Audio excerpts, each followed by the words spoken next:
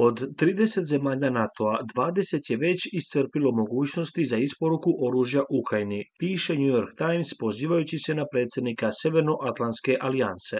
Male zemlje su iscrpele svoj potencijal, a 20 od 30 članica NATO-a su se značajno istrošile, objasnio je izvor. Sagovornik lista je precizirao da je preostalih deset država spremno da nastavi da pruža pomoć Kijevu. Posebno veći saveznici, govorimo o Francuskoj, Njemačkoj, Italiji i Holandiji, navodi se u izdanju.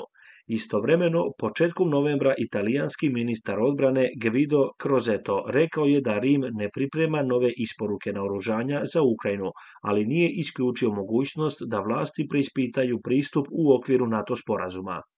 Zbog ruske specijalne vojne operacije, zapadne zemlje nastavljaju da isporučuju oružje Kijevu. Moskva je više puta izjavljivala da snabdevanje vojnom opremom samo produžava sukob, a transport naoružanja postaje legitimna meta ruskih trupa. Kako je istakao predsjednički sekretar za štampu Dmitri Peskov, akcije zapadnih zemalja će imati samo negativan efekat.